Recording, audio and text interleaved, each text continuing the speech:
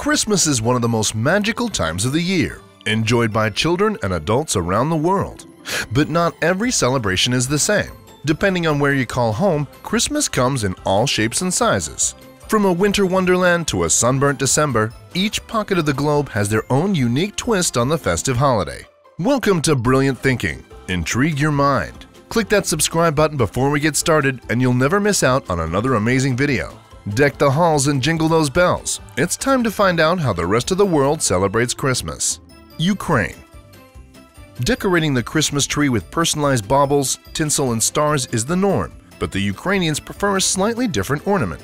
They use spider webs. The tradition goes back to an old tale about a poor widow who couldn't afford to decorate her tree. Legend has it that spiders in the house took pity on the family's plight and spun beautiful webs all over the tree.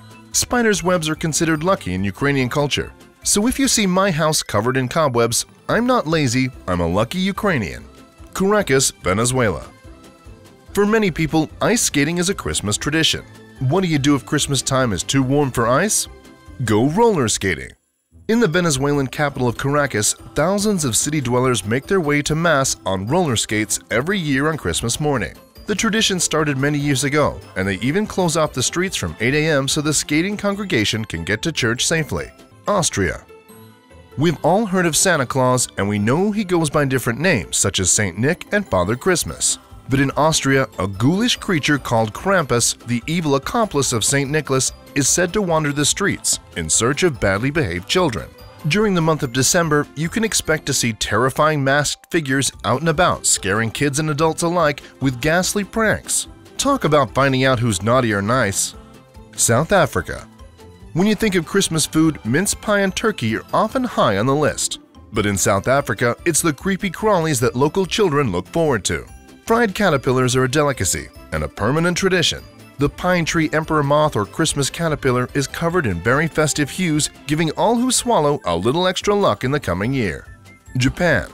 In Japan, Christmas isn't even a national holiday, but that doesn't stop them celebrating with a finger-licking good meal.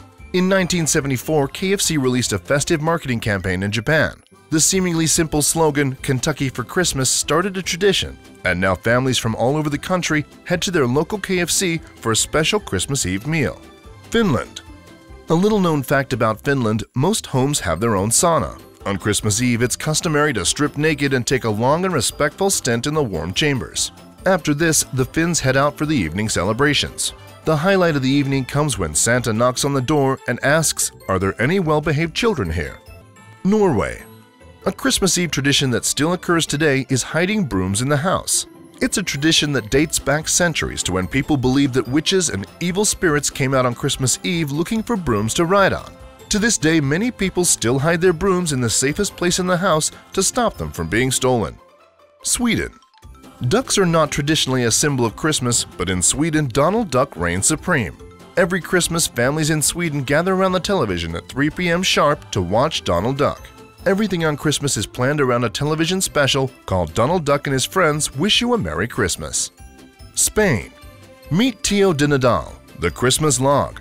Tio de Nadal is a smiley character made from a hollow log with stick legs and a red hat. On the 8th of December, the children feed the log small treats and leave him under a blanket to keep him warm.